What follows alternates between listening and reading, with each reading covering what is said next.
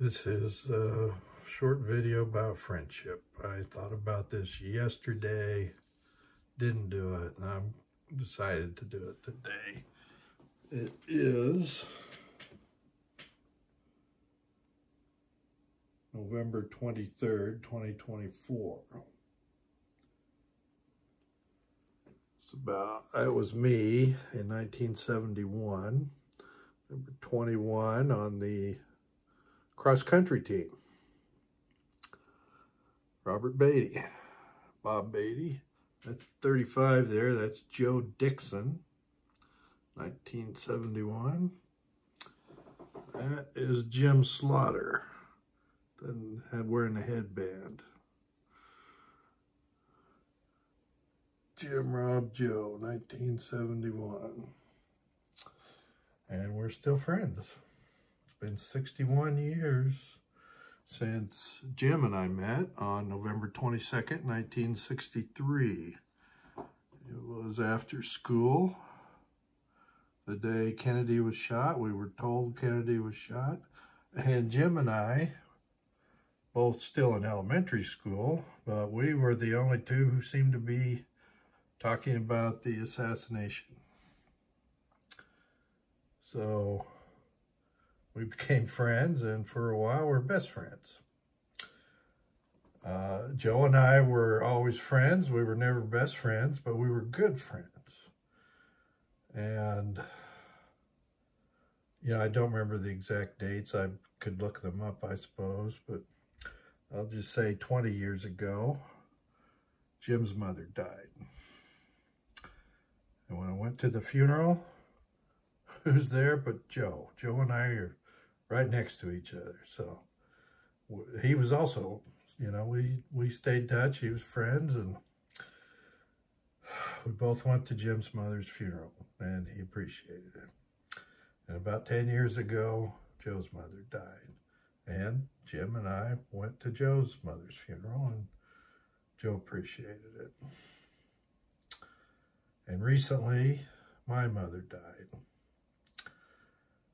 I did not tell Jim or Joe until after the funeral because they would have had to drive hundreds of miles to the funeral at a small rural graveyard. We only had a graveside service.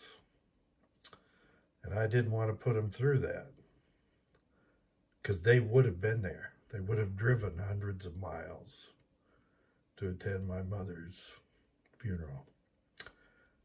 And they would have done that out of friendship, long friendship, well over 50 years.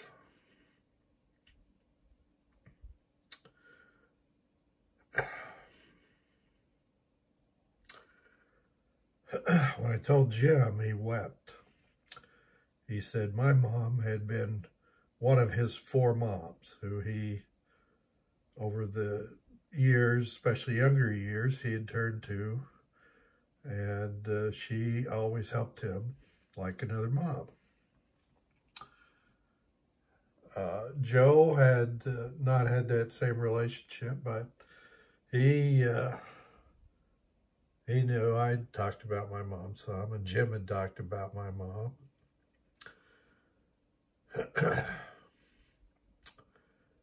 Don't know, it's true. You might hear this as an aphorism. You don't know how splendid the day has been until you've reached the evening. That's talking about a day and it's talking about a life. So, you know, we're all, you know, approaching the, or at that three score and ten and we're in the evening of life.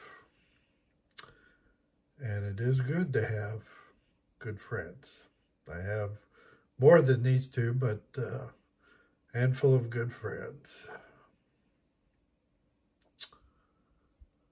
Uh, I hope you do too, although you may not know who they are until later in life. There were some uh, good friends I've lost touch with, some I don't know why. Others I no longer communicate with. They, you know, I wrote true crime books. I worked in a psych ward. I considered becoming a psychologist or psychiatrist. Um, some of my old friends that I no longer keep in touch with, just, they're really psychopaths. But not these guys. These guys are solid gold.